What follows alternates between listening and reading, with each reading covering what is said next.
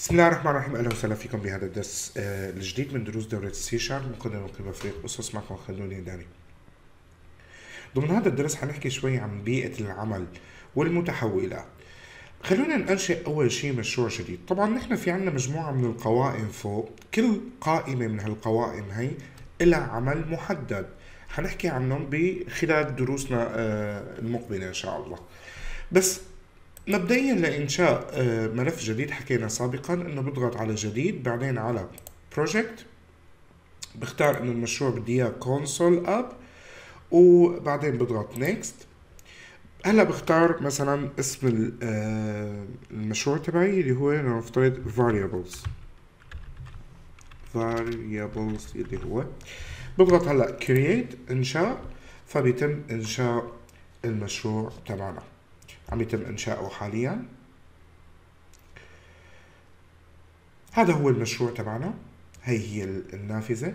هون في عنا شغلة اسمها Solution Explorer. من خلالها أنا بستعرض ملفات المشروع تبعي ملفات البروجكت تبعي. فلاحظ إنه في عندي آه، شغلة اسمها Dependencies. ما كتير مهمة بالنسبة لنا شو هي لكن اللي بيهمني هو هذا الملف. إللي هو program program.cs program.cs يعني CS اختصار ل C sharp. هو الملف يلي فيه الكود تبعي هاد. لاحظوا هون ضمن هذا التاب أو هذا التبويب أنا فاتح program.cs آه، يلي بيحتوي على كود ال C sharp اللي بيتم تنفيذه خلال هالمشروع هذا. هون في عنا شغلة اسمها using. شو هي ال using؟ البرمجة من جديد صارت كتير أسهل من ما سبق ليش؟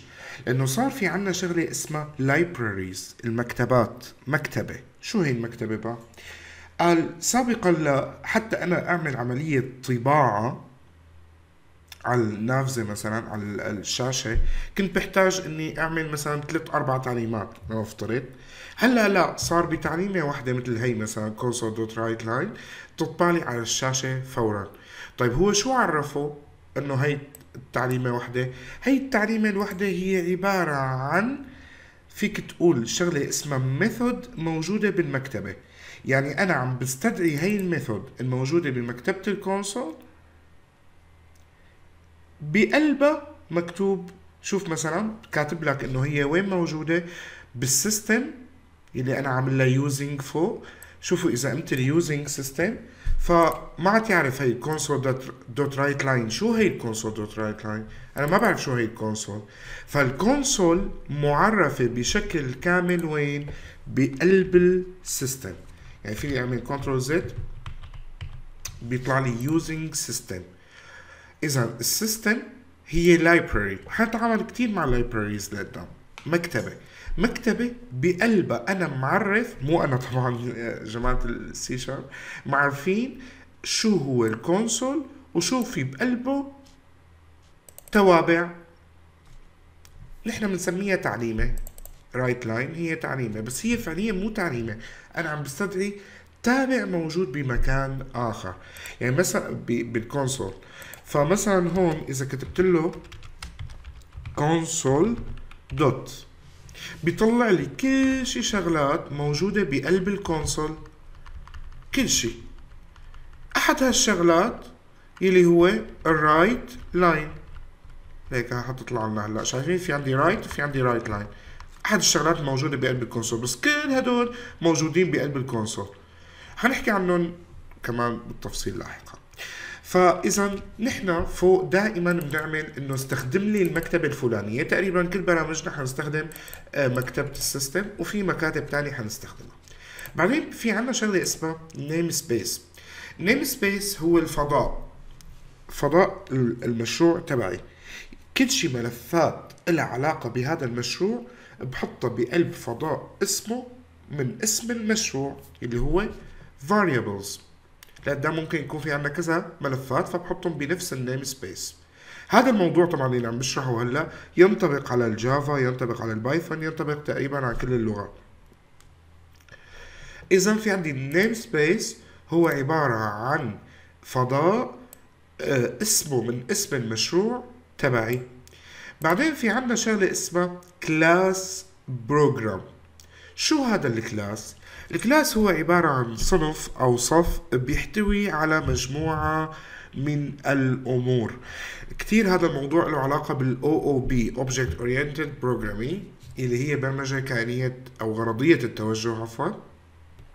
كائنات بيكون فيها كائنية التوجه كمان ممكن يمشي الحال. أه شو بتفيدني بالحياة العملية؟ حنحكي عن هذا الموضوع لاحقا ما كتير مهم بالنسبة لنا هلأ لكن لقدام كتير مهم.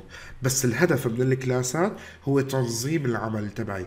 أحسن ما أعمل مثلا إذا كان عندي مشروع له علاقة بالطلاب أحسن ما أعرف كل طالب لحاله بصير بعرف شغلة اسمها كلاس. هاي ال class هي عبارة عن اسمه طالب. هذا الطالب شو في بقلبه؟ شو في توابع بقلبه؟ بتحسب لي معدل وكذا. بعرفه مرة واحدة وبصير بستخدمه دائما على أي طالب بدي إياه. فهذا فقط هدفه تنظيم العمل ومو شغلة قليلة إنه تنظيم العمل شغلة كتير كبير هذا الموضوع بالنسبة لل OOP هلأ حاليا ما بيهمنا لكن نحن بيهمنا بكل كود C Sharp عم نستخدمه. في عنا أول شيء مكتبات حنستدعيها. بعدين namespace لاسم المشروع تبعي. بعدين في عنا قوسين فتح وتسكير بقلب هال namespace في عنا class هذا ال class دائما اسمه Program يعني أنا إذا جربت غيرت اسمه ممكن يصير مشاكل. أنا حسميه Program في بقلب هال class شغلة اسمها Main ال Main هو عبارة عن تابع. تابع مثل توابع الرياضية. شلون في عندي بالرياضيات function أو fonction أو تابع؟ التابع دائما بيكون له مدخلات بيكون له مخرجات. مثلا بالرياضيات المدخلات للتابع هي x والمخرجات هي y وفي عندي مجموعة تعليمات كنا بنسميها بالرياضيات علاقة الربط. إنه 3 x زائد 4 بدي شو. هي عبارة عن تعليمات بالرياضيات. بالبرمجة كمان بتكون عبارة عن تعليمات. هذا هو مفهوم التابع بشكل عام. بكل كود C Sharp بكل مشروع C Sharp إجباري لازم يكون في عندي تابع اسمه Main؟ التابع الرئيسي. أنا لما بجي بضغط run شغل المشروع تبعي بيجي ال compiler اللي هو المفسر اللي عم يفسر التعليمات للكمبيوتر. الكمبيوتر شو بيفهموا شو أنا كاتب؟ في عندي شغلة اسمها compiler هي هو المترجم بيني وبين الكمبيوتر. أنا عم بكتب وال compiler هو عم يترجم للكمبيوتر شو عم بكتب. تمام؟ مشان ينفذه الكمبيوتر. فأول ما أضغط run أنا بيجي ال compiler بدور على الكود تبعي. إن شاء الله يكون 2000 تابع. بدور على تابع اسمه main هي نقطة البداية بالنسبة له. ال main. إذا بدور بكل التوابع يعني أنا إذا سميته main اثنين مثلا ها وجربت أعمل هيك بيقول لي في عندك خطأ لأنه ما لقى لتابع ال main. لازم رجع له تابع ال main.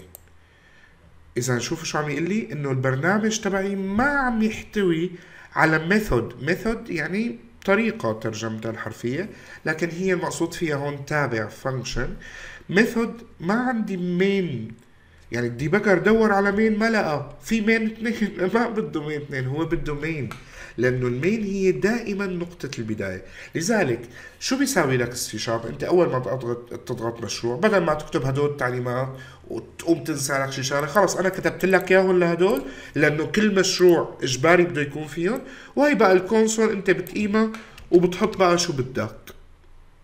بتحط ضمنها شو بدك لتعليمة ال main مثلا أنا بدي أقول له console dot write طبعا شو بتفرق ال write عن ال write line لاحظ في شغلة اسمها auto complete بالاي دي اي وباي آي دي اي تقريبا يعني. حتى ال Notepad Plus Plus صار في ال auto complete هو أنا مجرد ما أضغط dot أكتب أول حرف ثاني حرف مثلا بكبس enter. مشان بصلح لي إياها أحسن هو. مشان كمان خفف على حالي كتابه بكتب مثلا هاي from IDE IDE uh, Integrated Development Environment. يعني بيئة تطوير العمل أو هيك شيء. أو بيئة تطوير متكاملة. أي أي برنامج بكتب بقلبه كود سواء NetBeans أو Eclipse أو Notepad Plus Plus أو C هذا Visual Studio كلهم اسمهم هدول IDE إذا ضغطت هلأ على play فشو حيساوي هو؟ الكود تبعي؟ حيروح يدور في بين إيه لقى ال main شو في بقلب ال main في عندي هالتعليمة هي فبيطلع لي هاي from IDE طيب إذا اجيت هلأ أنا قلت له بس write لنفترض إني عملت نسخ لهي التعليمة وعملت لها لصق قلت له I love IDE مثلا. قلت له هلأ play فبلاحظ إنه حط لي إياهم الاثنين بنفس السطر. ليش؟ لأني أنا استخدمت method موجودة بقلب ال console. استخدمت تابع تعليمة موجودة بقلب ال console اسمها write. نحن لازم إذا بدي سطر جديد طبعا أنا فيني أرجع أرجع الخيارات. باني اكبس إكبس control مسطره control space. على الهي بيقوم بيطلع لي الخيارات. لازم اكتب له write line لحتى يطبع لي الجملة وينتقل لسطر جديد. أما بدون ما بدون write على الحل بدون write line يعني بدون line بس write فما بينقل لي لسطر جديد. بيطبع وبيستنى التعليمه اللي بعدها ورد بيطبع وهكذا. هلأ هيك إذا ضغطت play قلت له play بنلاحظ إنه نقل لي لسطر جديد. مثل ما إحنا شايفين هاي from IDE نقل لي لسطر جديد بعدين كتب لي IDE هيك بيكون انتهى هذا الدرس إلى اللقاء.